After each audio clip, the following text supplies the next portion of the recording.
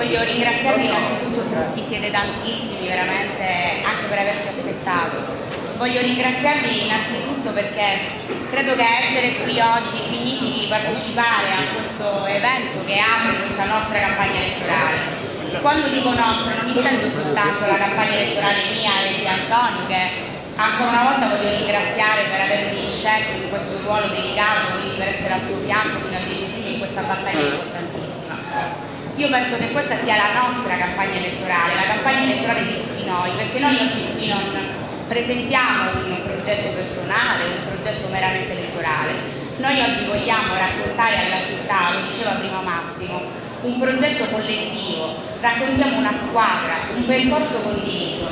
ed è un progetto al quale ciascuno di noi a suo modo, del quale ciascuno di noi a suo modo è il protagonista e che ha un unico obiettivo, guardate, che è fuori da questa finestra e che risponde a tutti i messinesi, in particolar modo i giovani, i ragazzi, che comunque in un modo o si disperano, vivono, eh, cercano di arrivare a fine mese con grandi difficoltà, ma che allo stesso tempo sperano e credono che questa sia la città nella quale costruire il loro futuro.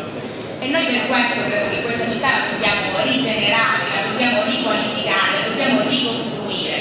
la dobbiamo se necessario rimettere in piedi e perché no, io mi dire cioè, rivoltata come un calzino, modificare assolutamente tutti quelli che sono i paradigmi con cui fino ad oggi l'abbiamo vissuta.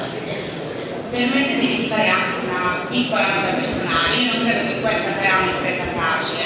ma non è stata un'impresa facile anche per me in questi anni. Scegliere di non andare via, scegliere di restare e di costruire qui il mio futuro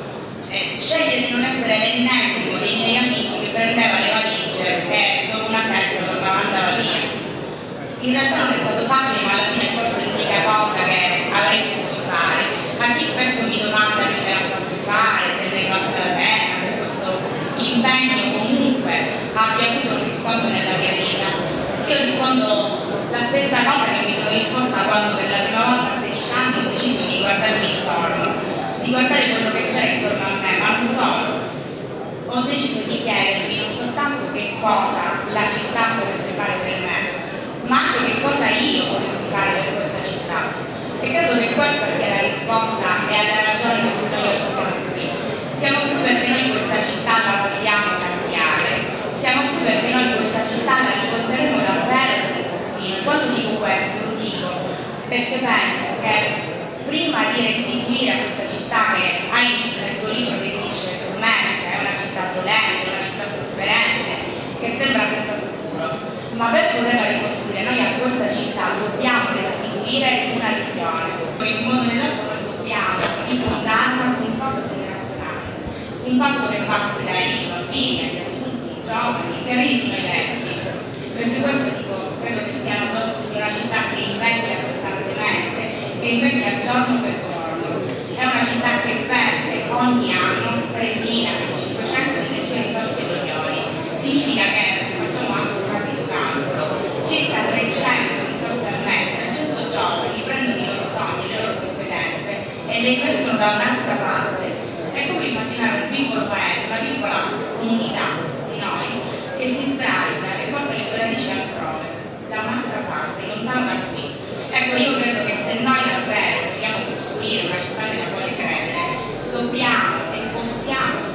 ripartire da qui e rimettere al centro i giovani. Rimettere al centro i giovani e fermare questo, questa immigrazione forzata, questo trend che tutti ci raccontiamo, di cui tutti ci lamentiamo, ma che poi in fondo nessuna amministrazione, né quelli che c'erano prima, né quelli che ci sono adesso, ha al centro del proprio obiettivo Italia una.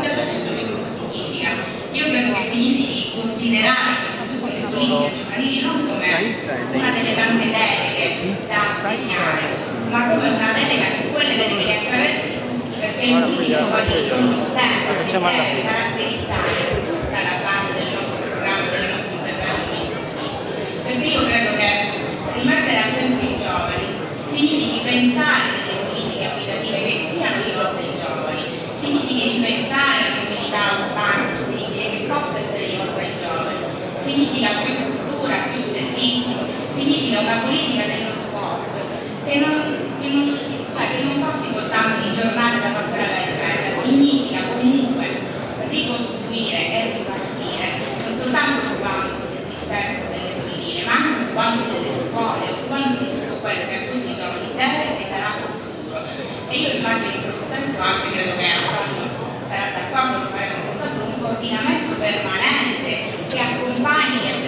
che si preoccupi di comprendere come ogni azione amministrativa abbia un impatto sull'autonomia, sulla dignità delle classi giovanili. Quindi questa deve diventare una città a misura di giovani, ma deve diventare anche una città a misura di donne. Consentitemi di essere un po' parziale in questa cosa. Io non, non credo molto nel, in parere così, in questo valore assoluto che è l'essere giovani e l'essere donne. Credo però nel valore i giovani e le donne possono portare a un